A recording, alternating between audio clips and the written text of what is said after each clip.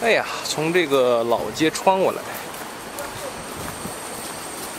就到了这个城堡了。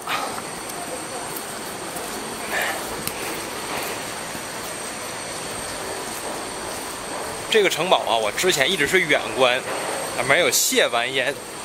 今天我是走到这个城堡的底下，好好观察一下它啊。